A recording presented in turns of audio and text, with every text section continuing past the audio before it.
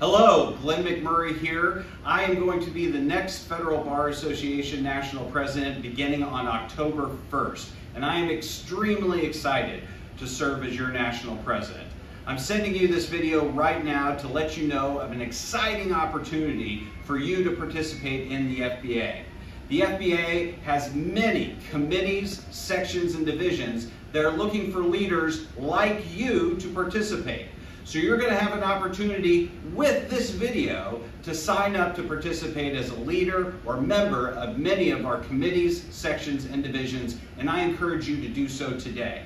You can view a list of our committee opportunities on the Federal Bar Association website, but remember, your deadline to sign up is July 26th.